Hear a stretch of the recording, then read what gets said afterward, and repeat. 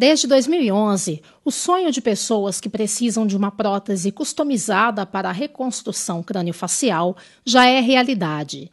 Na Faculdade de Engenharia Química, o INCT Biofabres produz as próteses de titânio por meio de impressão 3D, com base no biomodelo anatômico do paciente. Esse projeto, desenvolvido em parceria com o cirurgião plástico, rendeu a André Jardini e equipe a terceira colocação no Prêmio PAEP 2015, reconhecimento a projetos de servidores da carreira técnico-administrativa da Unicamp.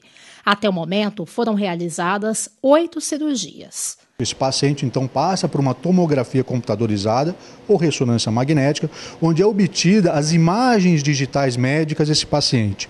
Essas imagens digitais são encaminhadas é, pelo médico através de um CD para nós aqui da engenharia. Aqui passa para a segunda etapa, que é a parte de software. Essas imagens são colocadas em software específico, onde é feita a segmentação. O que é segmentação? É a separação do tecido duro, osso, de tecido mole, pele, cartilagem veias, artérias. Então nós temos o modelo isso virtualmente no computador, da réplica anatômica óssea do crânio daquele paciente que vai precisar da prótese.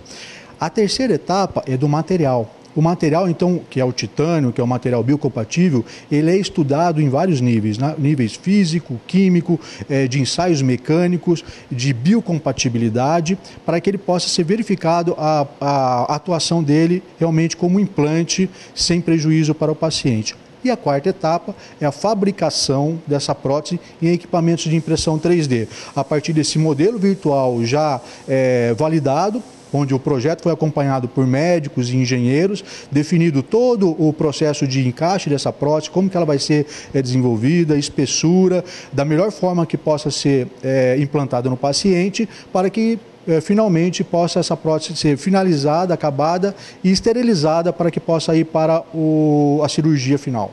Menor tempo de cirurgia, redução de infecções e de rejeição estão entre as vantagens para o paciente. Bom, vale a pena a gente explicar quem que pode apostar nessa cirurgia com a prótese de titânio. Apenas quem tenha tido um trauma craniano, passado por uma cirurgia com a prótese plástica e obtido rejeição. Aí sim, a pessoa vai poder participar de teste, todo um planejamento e a cirurgia. Isso é realizado em parceria entre a Biofabres e o cirurgião plástico.